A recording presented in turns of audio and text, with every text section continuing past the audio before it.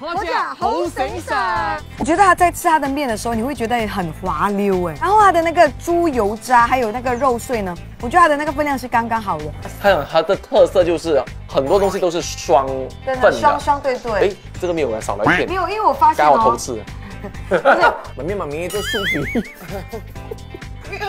肉很硬啦。如果你一路以来对我吃燕麦的习惯，你一定会觉得这个煮法、这个吃法还蛮好吃的。